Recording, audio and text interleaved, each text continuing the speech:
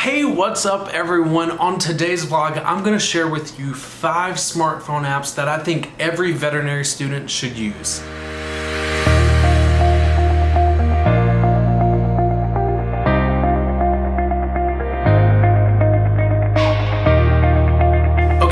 Disclosure, I do not have any affiliations with these apps or these companies. These are just five apps that I have found very helpful for me as a veterinary student through my first through fourth year of veterinary school, and I want to share those apps with you. The first app is Plumb's Veterinary Drugs.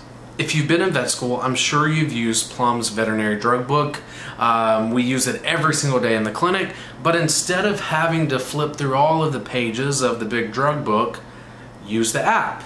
Um, it's very handy. You know, the app you can search for the drug, it tells you the dosages, any side effects, etc., etc. It's a fantastic app to use. The only thing is you do have to pay for it if you're a veterinarian.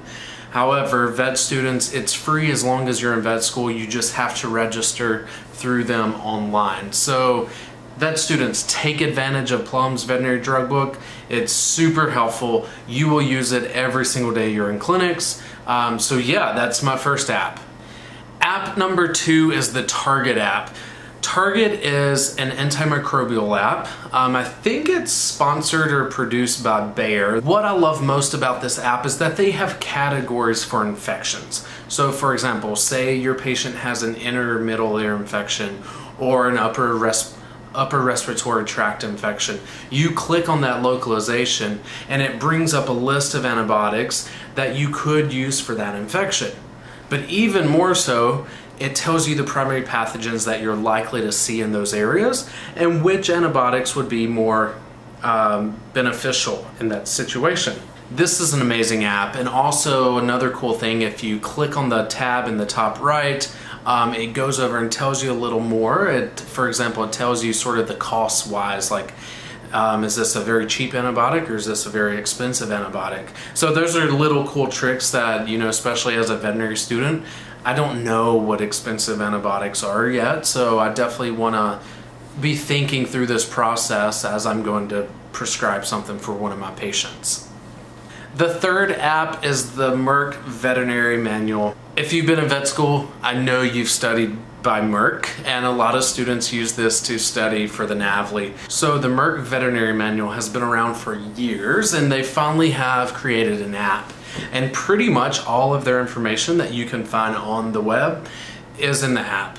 Um, it's really cool. It's really handy to have in clinics if you need to look up a disease or kind of what I do. I need to review a disease before I go talk with clients. So, you know, I'm ready for pretty much any question they have about that disease. Um, so yeah, the Merck Veterinary Manual, check it out. So now for this next app, I've put two apps in one. Um, these are two apps that help every student prepare for the NAVLE, which is our national board exam. The two apps, one is called Zuku, the other app is called Vet Prep. These are two companies that provide study material for the NAVLE, and they both have apps. So let's start with Zuku. Zuku is the company that I used to study for the NAVLE, and I will say that their mobile app is not the best. Um, so their mobile app is more so a web-based app. So what that means is when you click on it on your phone, within the app, it actually takes you online. So it's a little, mm, it's it's not as cool as a normal app. Um, you log in through the app and it takes you to their main website through the app. But you still have access to all of your material. You have access to your study questions, to notes, videos, audio, etc. So it is very handy if you are in clinics or if you are on the road traveling. For example, I played the audio while I was traveling, sort of used it sort of as a podcast one day. Um, so it was definitely very helpful to have the app. It's just it's not the most appealing. Uh, the app looks sort of very cheap, and so I kind of wish Zuku would work on that. But again, it was great for when I was on the go. Vet Prep is the other company that offers NAVLE review material, and they have a fantastic app as well. Their app is pretty much similar. Um, it's not web-based, but the app, everything is built into their app. Um, you can access all of your notes, your study questions, etc. Um, and it does have a really nicer layout. Um, so a lot of my classmates that use Vet Prep, they said they found themselves using the app more than actually logging in on the website. Whereas when I use Zuku, I use my laptop for most of my study. But I think you can't go wrong with either one, so Zuku or Vet Prep, but you do have to buy a subscription. Um, and these are not cheap at all, but you're buying the package. Yeah, so Vet Prep and Zuku definitely comes in handy as a fourth year veterinary student.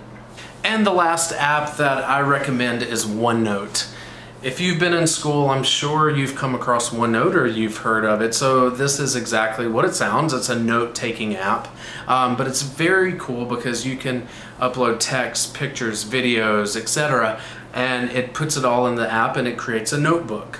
And so it is definitely a digital version of a notebook, but what I like about it is it's cloud-based. So I can access that notebook from any of my devices. Um, as soon as I make a change on my iPad, it transfers that change over to my laptop. So I really do like that, and I've used that mostly through my first and second year of vet school studying. And our school actually uses it quite a bit through our case-based learning that we do. So our students at our school get very used to OneNote. Um, but yeah, I just think it's a great tool to have. So OneNote. And there you have it. So those are five apps that I recommend every vet student using. There are a lot of other veterinary apps out there. Please leave the ones that you love in the comments. So yeah, if you have any questions about these apps, don't hesitate to reach out. I'll be glad to help you. Until then, see you later.